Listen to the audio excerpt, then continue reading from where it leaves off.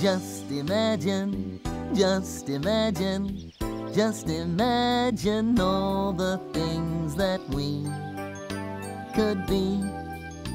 Imagine all the places we could go and see. Imagination's fun for you.